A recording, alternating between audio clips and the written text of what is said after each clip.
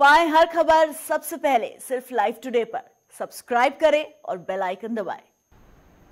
और अब बात करेंगे उत्तर भारत में मौसम के हाल की। आपको बता दें कि उत्तर भारत में मौसम ने करवट बदली है। मानसून के कारण अब काफ़ी जगह बारिश हो रही है। उत्तराखंड में भी तेज बारिश को लेकर लगातार अलर्ट जारी किया जा रहा है और इस बीच हरिद्वार के मशहूर हर की पौड़ी पर आकाशीय बिजली गिरने के कारण भारी नुकसान पहुँचा है। यहाँ बिजली गिरने से पूरी दीवार गिर गई और पूरे क्षेत्र में मलबा फैल गया। मौसम विभाग की ओर से पहले ही अलर्ट जारी किया गया था। वहीं सोमवार देर रात को हरिद्वार में आकाशीय बिजली गिरी, जिससे हर की पौड़ी में 80 फीट की दीवार गिर गई। यह हादसा हर की पौड़ी में ब्रह्मकुंड के आसपास हुआ। हालाँकि गनीमत यह रही कि रात का वक्त होने की वजह से यहाँ पर भीड़ नहीं थी, ऐसे में किसी को नुकसान नहीं पहुँचा। बिजली गिरने के साथ ही तेज बारिश भी रिकॉर्ड की गई। वहीं इस हादसे के बाद अखाड़ा परिषद के श्री महेंद्र नरेंद्र गिरी भी हर की पौड़ी पहुँचे। उन्होंने यहाँ के हालात का जायजा लिया। अब स्थानीय प्रशासन की मदद से मलबे को हटाने का काम किया जा रहा है और पूरे इलाके को फिर से ठीक किया जा रहा है। तो तस्वीरें आपको दिखा रहे हैं जहाँ आकाशीय बिजली का कहर टूटा है। हरिद्वार में हर की पौड़ी की तस्वीरें आप देख रहे हैं इस वक्त जहाँ अस्सी फीट की एक दीवार गिर पड़ी। इसमें कोई दो राय नहीं है।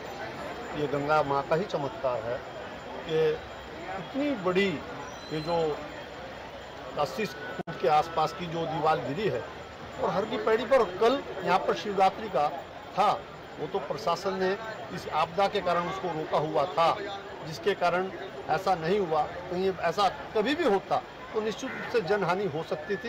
ये गंगा जी का प्रत्यक्ष इतना बड़ा चमत्कार है कि एक जीव की हानि भी इतनी बड़ी दीवार गिरने के बाद, इतना पूरा हरगी पैड़ी पर मलबा फैलने के बाद, ऐसी कोई दुर्घटना खरोच भी किसी जीव को नाना मैं तो इसको गंगा माँ का चमत्कार कहता हूँ। जैसा कि जो लोग यहाँ आसपास उपस्थित थे, हमारे गार्ड्स थे और पुलिस थी आसपास के होटल वाले, जो सबसे हमें फीडबैक मिला आकाश से जो बिजली है, वो गिरी है और उसके उपरांत जो है, ये जो दीवार है, ये भुगरा के गिर पड़ी है। प्राकृतिक जो एक तरह से हम कहेंगे घटना है। इस विषय में क्योंकि हम तकनीकी विशेषज्ञ नहीं है हाँ ये बात सही है कि पास में ही जो है अंडरग्राउंड वायरिंग के लिए खुदाई हुई है। लेकिन हम प्रत्यक्ष रूप से इस विषय में हम नहीं कह सकते हैं कि क्या दीवार की मजबूती में उससे कोई प्रभाव पड़ा या नहीं पड़ा। लेकिन जो घटना सामने आ रही है, जैसा कि सभी उपस्थित लोगों ने बताया कि आकाशीय बिजली गिरी है और बहुत तेज वेग से वो बिजली आई है और उस वजह से इतने बड़े दीवार के बाहर उसको क्षति संजय पुंडीर हमारे सहयोगी इस पूरी खबर पर हमारे साथ जुड़ चुके हैं। संजय 80 फीट की दीवार गिरी है आकाशीय बिजली के कारण। कितना नुकसान हुआ है? सबसे पहले तो आप ये जानकारी लेना चाहेंगे।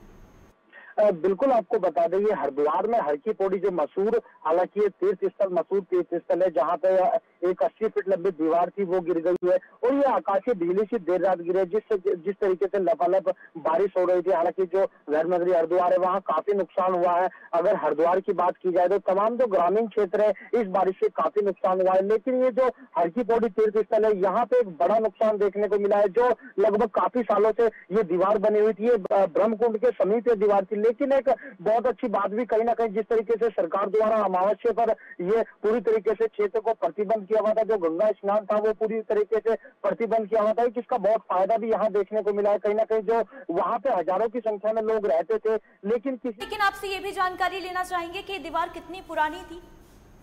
बिल्कुल, ये लगभग सैकड़ों साल पुरानी दीवार थी जो कहीं ना कहीं जो आकाशीय बिजली से गिर गई है। इसके पास एक बड़ा ट्रांसफार्म था जो दे रहा था बिजली उससे टकराई और वहाँ जो छितड़ हो गए, बिल्कुल कहीं ना कहीं आप तस्वीरों में साफ़ देख सकते हैं। जो ब्रह्मकुंड का क्षेत्र है, वो पूरी तरह ध्वस्त हो गया हालाँकि ध्वस्त होने के बाद जो गंगा सभा के अध्यक्ष है, वो भी वहाँ पहुँचे जो जिला प्रशासन के अधिकारी है, वो भी वहाँ जायजा ले रहे हैं। कहीं ना कहीं अभी अनुमान लगाया जा रहा है कि कितने का नुकसान था। लेकिन वही जो गंगा सभा का कहना है कि इस दीवार को मजबूती से बनाया जाए और इस पर तत्काल ही कार्य शुरू किया जाए। और सबसे गनीमत रही कि वहाँ पे किस तरह की जनहानि नहीं हुई है।